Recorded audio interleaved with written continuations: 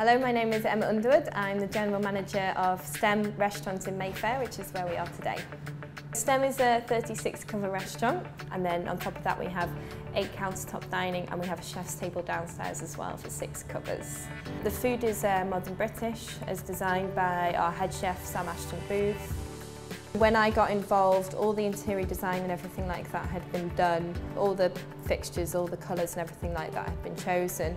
But all the little bits and pieces like the cutlery and the glasses and the plates and things like that, I got to help choose, which was amazing. The location is, um, it plays a massive part in the theme of the restaurant. So it's that cross-section of like a really expensive part of town and a really accessible part of town. A lot of our thinking when we chose the glassware and things like that was to be elegant, to be classy, to be expensive looking, but also to be accessible. So when we first opened, in terms of uniform, um, we were very, very conscious of the location. To start off, I wore like a little like suit jacket with um, linen aprons, and everyone looked lovely, everyone looked really smart. But as time went on and we were understanding our guests a little bit more, it was really important as the restaurant grew.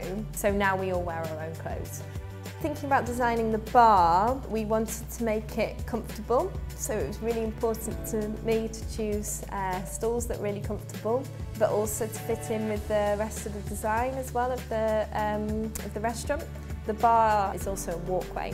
It's like the link between the front room and the back room. So the name stem is to signify growth because it's our third site, but also we work really closely with a vegetable garden that we have in the north of London. Uh, so we grow a lot of our own fruit and veg and herbs. That was really important to bring that element in. Uh, Sam's style of cooking is, is really, really elegant as well, so I th feel that that's reflected in the restaurant too. I think the main advice in opening a restaurant is that you have to be so flexible. You have to understand exactly what your guests want and be open to changing on that. It's important to have your own ethos and to have your own style, but as long as that accommodates the people that are actually dining in your restaurant, that's the only way it'll work. It doesn't matter what you're doing, it matters what, what they want. The Tomorrow Project was started in 2015 by a food writer Anna Masing and chef Dan Doherty. They came together because they wanted to help encourage young people in the industry. So together we put on dinners for different chefs at parties, design their own uh, dish and they come together and create a menu together. We do industry talks about once a month And then we do the switch, which is what I spearhead, it's the front of house part of it.